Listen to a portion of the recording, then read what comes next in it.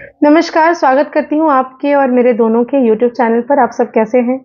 आशा करती हूँ सब बहुत अच्छे होंगे, खुश होंगे। आज मैं आपको बताने वाली हूँ आने वाली एकादशी के बारे में षटतिला एकादशी, जो कि 6 फरवरी को है। कौन से ऐसे खास उपाय कर लेंगे इस दिन की, ताकि हरि विष्णु जी, माता लक्ष्मी प्रसन्न हो जाए आपके ऊपर? आप जानते हैं, एकादशी में आपको बहुत सारे नियमों का पालन करना चाहिए।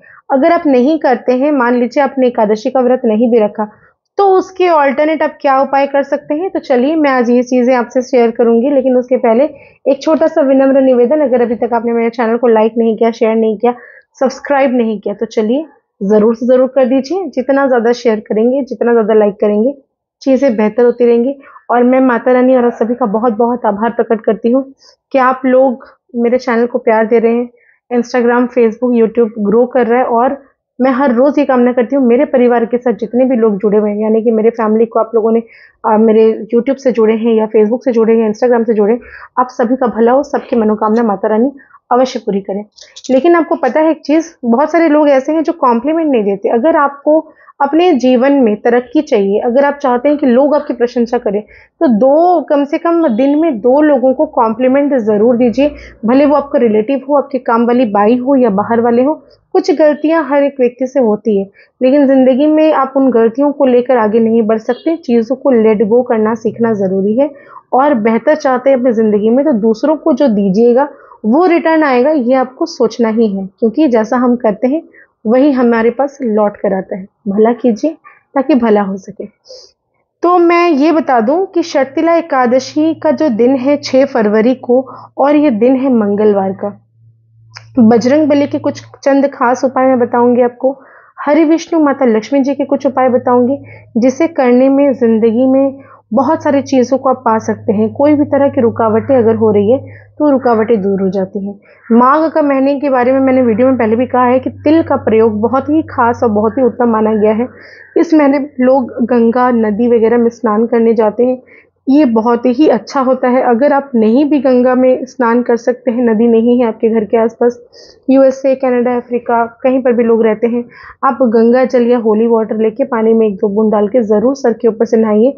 थोड़े से काले तिल, जिसे ब्लैक सिसम भी कहते हैं, उसे लेकर पानी में डालकर नहाइए। भोलेनाथ को जब भी अभिषेक करते हैं, काले तिल देकर अभिषेक ज़रूर करिए इस महीने में, और इस दिन का तो बहुत ज़्यादा महत्व है। भोलेनाथ की पूजा अवश्य करें। अगर आप सूर्य को अर्घ दे रहे हैं, अगर क्या? देना ही चाहिए। सुबह सुबह सनराइज का टाइम देखकर सूर्य को अर्घ दीजिए तांबे के लोटे में। थोड़ा सा लाल रंग का कुमकुम, एक लाल फूल, थोड़ी सी मिश्री, और आपको ज़रूर से ज़रूर तिल।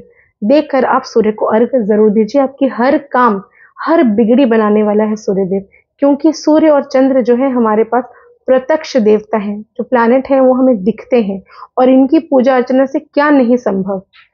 तो आपको मैं यही उपाय बताने वाली हूँ। पहली चीज़ तो ये जान लीजिए कि भगवान हरि विष्णु को पीले रंग की फूल बहुत ही प्रिय है। अगर आपके घर पर फ़ोटो है, तस्वीर है, मूर्ति है, पीले रंग के फूल अर्पित ज़रूर करें। माता लक्ष्मी को कमल गट्टे की माला ज़रूर पहनाएँ। इस तरह के कमल गट्टे की माला अगर आपके घर पर नहीं है तो आप मुझसे भी ऑर्डर करके मंगवा सकते हैं। नियरेस्ट लोकेशन में कहीं पर भी है। ये हमारे पास से सिद्ध किया हुआ जाता है। ओम नमो भगवते वासुदेवाय का मंत्र इसमें जाप करिए। ओम लक्ष्मी आय नमः का इसमें जाप करिए। चाहे तो आप कुबेर मंत्र भी जाप कर सकते हैं। आपकी जो मर्ज़ी, आप वो जाप इसमें कर सकते हैं। उस दिन 108 बार ओम नमो भगवते वासुदेवाय नमः का जाप तो ज़रूर करिए आप। दूसरी चीज़ ये कि विष्णु सहस्त्र नाम का पाठ, लक्ष्मी ललिता सहस्त्र नाम का पाठ भी आप इस दिन ज़रूर करिए। नहीं कर सकते तो कम से कम सुन लीजिए यूट्यूब में लगा दीजिए, अपने घर के टेप रिकॉर्डर में लगा दीजिए, जैसे भी मन करे उसको सुनना और उसकी जो और होती है ना, उसको होना बहुत ज़रूरी है। चीज़ें बेहतर होती हैं लाइफ में। बहुत सारे ग्रहों का निवारण है विष्णु सहस्त्र नाम कुछ चीज़ों को मैं और बताने जा रही हूँ, जैसे हनुमान जी के मंदिर अगर आप नहीं जा पाते तो घर पर ही पूजा करें, हनुमान चालीसा का पाठ करें, सुंदरकांड का पाठ करें या सुने। आपको बजरंग बली को चमेली का तेल का दिया इस दिन ज़रूर जलाना चाहिए, लाल रंग का चोला इनको ज़रूर भेंट करनी चाहिए, विष्णु जी को पीले रंग के वस्त्र ज़रूर भेंट करें, लक्ष्मी जी को पीले रंग का चुनरी ज़रूर उड़ाएँ आपको चंदन का तिलक इस दिन ज़रूर उन्हें लगाना चाहिए और वही चंदन के तिलक खुद अपने मस्तक पर लगाना चाहिए। गेंदे का फूल पीले रंग का। भगवान विष्णु को बहुत ज़्यादा प्रिय है। उनको ज़रूर से ज़रूर गेंदे का फूल चढ़ाइए और उस गेंदे का फूल का प्रयोग भी मैं आपको बता दे रही हूँ। जी हाँ बहुत सारे लोग ऐसे हैं जिनको ऐसा लगता है कि फैमिली में लोग उसकी बात नहीं सुनते हैं, बातों का इंपॉर्टेंस नहीं देते अगर वैल्यूलेस आपकी बातें हैं तो आपको नेक्स्ट डे वही जो आपने गेंदे के फूल की माला चढ़ाई है ना, उसको आप ले लीजिए। उसमें सफ़ेद चंदन आप उसको पेस्ट कर लीजिए करके। आपको चंदन के साथ मिक्स करने के बाद उस गेंदे के फूल को तिलक लगाना है हर रोज़। ओम क्रीम कृष्णाय नमः। ये कहकर तिलक लगाइए, हर रोज़ लगाइए। और देखिए मैजिक जी हाँ कैसे नहीं लोग आपकी बातें सुनेंगे, ज़रूर सुनेंगे। ये एक बहुत ही अच्छा ट्रिक मैंने आपको बताया, जिससे आप अप्लाई करके इसके रिज़ल्ट भी ज़रूर देखेंगे। आज के दिन माता लक्ष्मी को प्रसन्न करने के लिए ग्यारह तिल के तेल का दिया आपको ज़रूर जलाना चाहिए किस वक्त? शाम के वक्त। प्रदोष काल में छः से आठ बजे के बीच में अपने घर के मंदिर में तिल का तेल का दिया और उसमें थोड़े से काले तिल डालकर थोड़ी सी हल्दी एक चुटकी डालकर आपको 11 दिया प्रज्वलित करना है। दिए के नीचे थोड़ी सी चावल या कोई भी अनाज का आसन ज़रूर दीजिए। ध्यान रहे कि टूटा हुआ ना हो, ठीक है? आप ऐसा करेंगे तो माता लक्ष्मी प्रसन्न होगी। धूप ज़रूर दिखाइए। शिव मंदिर में, बजरंग बली के मंदिर में धूप ज़रूर दिखाइए। धूप का दान भी कर सकते हैं आज के दिन। जब भी वो धूप जलेगा, आपके नाम, मान, सम्मान, प्रतिष्ठा में वृद्धि होगी। जी हाँ धुएँ की तरह जैसे फैलता है, वो हवा के साथ मिल जाता है। आपका नाम भी इसी तरह से फैलना शुरू हो जाएगा। इसके अलावा आज के दिन आप चाहे तो ध्वजा किसी भी बजरंग बली के मंदिर में या किसी भी शिव मंदिर में त्रिकोण ध्वजा लाल रंग का ज़रूर लगाना चाहिए। अगर आप चाहते हैं आपकी कहीं पर भी आपको झंडा गाड़ना है, अपनी चीज़ें बेहतर करनी है, आपको लोग जाने, नाम, सम्मान, मान सम्मान, विजय प्राप्त हो तो इस काम को आप ज़रूर से ज़रूर कर सकते हैं। आज के दिन बादाम ज़रूर खाना चाहिए। आज के दिन अन्न मतलब यानी कि चावल, बिल्कुल नहीं खाना चाहिए। आज के दिन मसूर का दाल से शिवलिंग पर अभिषेक कर सकते हैं, क्योंकि ये दिन जो है, आपका मंगलवार का दिन है। मंगलवार को मसूर का दाल से अगर शिवलिंग को अभिषेक करते हैं तो आपके कर्जे सही हो जाते हैं, जिसकी शादी नहीं हो रही है। शादी जल्दी होने के चांसेस हो जाते हैं।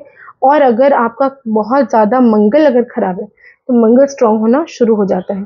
आज के दिन अगर आप लेबर को मतलब डी क्लास के लोगों को या फिर आपके मजदूर आपके आसपास जितने भी काम कर रहे होंगे, उनको अगर आप चाय पिला सकते हैं तो भी आपका मंगल स्ट्रांग होता है। ज़मीन से संबंधित कोई कार्य आप जब भी रुक जा रहे हैं, इसको चाय पिलाने से ही आपके काम बनना शुरू हो जाते हैं। आपको आज के दिन तुलसी के वृक्ष के में, अपने हाथों में राइट हैंड में, आपको थोड़ा सा गन्ना का रस दे, देना है। नौ बार अपना नाम और गोत्र कह के और आप ये कहिए कि आपको लक्ष्मी की प्राप्ति हो। आप जो भी चाहते हैं, मनोकामना कहते हुए ज़रूर इस तरह से अर्पण करना चाहिए नौ बार। ऐसा करने से माता लक्ष्मी सदैव आपके ऊपर प्रसन्न रहेंगी और लक्ष्मी का वास आपके घर पर ज़रूर होगा। गाय को आज के दिन अगर गुड़ देकर और तिल मिलाकर रोटी बनाकर अगर आप उसे खिला सकते हैं, वो जैसे ही खाएगी, आपकी परेशानी हो जाएगी, छू मंतर और बिल्कुल दूर। किसी भी गरीब को अगर आप ब्लैंकेट आज के दिन दान करते हैं, काले रंग का कंबल दान करते हैं तो भी आपके भाग्य में परिवर्तन ज़रूर देखने को मिलेगा। आशा करती हूँ, मेरे जितने भी वीडियोस आप देख रहे हैं, वो सब आपके उपाय काम कर रहे होंगे। ज़रूर से ज़रूर मेरे उपायों को करिए और इसी तरह मेरे से जुड़ते रहिए और दूसरों को जोड़ने की कोशिश करते रहिए।